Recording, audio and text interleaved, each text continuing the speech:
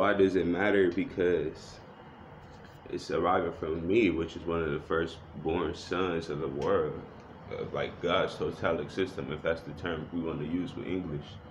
I mean, imagine like constructing some like heavy duty machinery since a child and then having to go and compete for, with sports for energy. That's like up there with on some like review of like Einstein or or some some Steve Urkel type stuff. You know what I'm saying?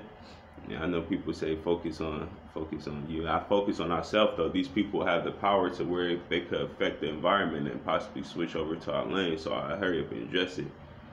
And this is just how I've been going for a while now. I mean, this is high technology stuff. You know what I'm saying? Um, why was it important to paint them as tough?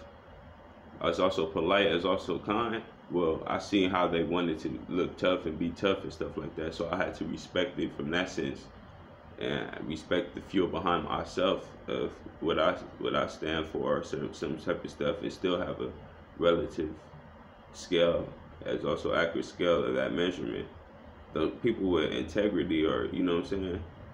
I feel like I have integrity. I try. To, if I say I'm gonna try, if I'm gonna say I'm gonna do something that's beneficial for what mankind or the environment, I try to fulfill those duties. I wouldn't, you know, or else why why did I just say this stuff or something like that? So, yeah, man, I've been performing basketball, football, music, for a long time now, and I believe those those is pretty much at the helm of stuff right now to the point people question is it even real life? And I, I as of now, I, I would say it is real life, though you know, um, I can see why people would want it to be fake or fictional. So at the end of the day, these people have characters and, and a will behind them.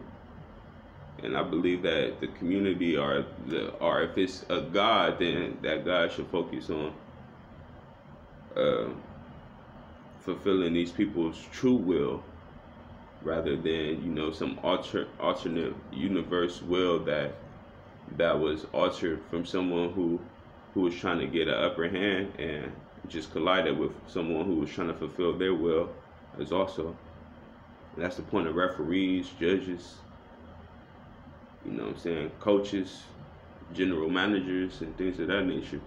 Like, let's just stop the, like, come on, man. We, we're supposed to, this supposed to be like some freaking um, borderline fairy tale at this point now, you know?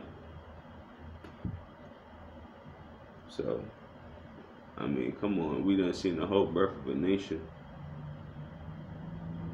Peace, love, well, one.